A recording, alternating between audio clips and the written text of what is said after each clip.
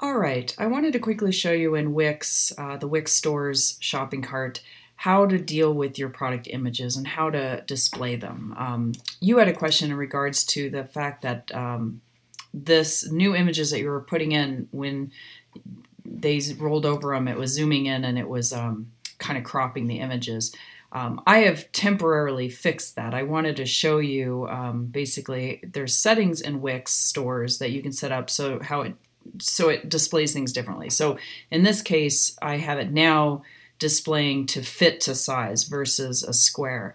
Um, all my original images of your products were square that I inserted into um, uh, the store, but your new ones are actually more vertical and tall. So what was going on is if we were using the um, the crop, kind of keeping everything square um, version of the settings, it was cropping in on that picture. So I'm going to come into this. Um, so where that setting is, it's under here, under settings. You come down here to layout and then make sure to scroll down. It's down um, a little bit below if you don't see it, but you'll see there's a crop or there's a fit.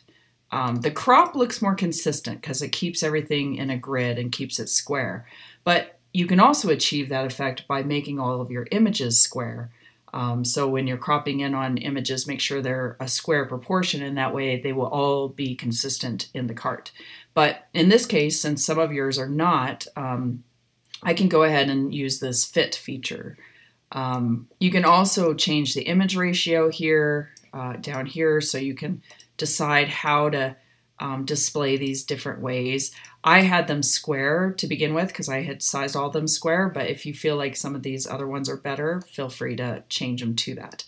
Um, the other option is, is when you're in the actual manage products area, when you're uploading those pictures, make sure to upload pictures that are square. So um, you'll see this one here. This is kind of a, um, and even in this back end, I will note it crops in on these pictures. That this isn't what it actually looks like on the front end, um, but in this editor, this is how you see them. So just be aware of that. It's not actually cropping them on the front end um, unless you have it set to crop on the front end. So um, anyway, this image is a vertical tall image. So if you wanted it to be, if you want them all to be square, maybe don't crop in on this so much and use a square version of this.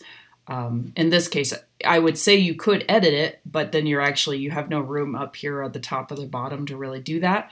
Um, so you can just leave them this way. And of course, you can leave them um, vertical because I've, I've, shown the different things. But I just wanted to make you aware that if you want really good, consistent um, photos with all the products, make them all square um, and that, or at least make them all vertical or make them all exactly the same proportion. And that will keep um, any kind of you know changing happening from occurring. I'm going to get rid of this one because I'm not sure if that was the one for this particular product, but I wanted to show you that example.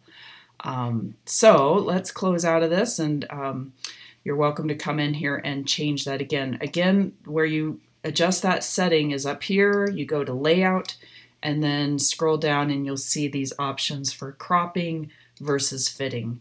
Um, fitting is better if you have multiple sized documents. However, you'll see that it doesn't look quite as consistent um, as the square does.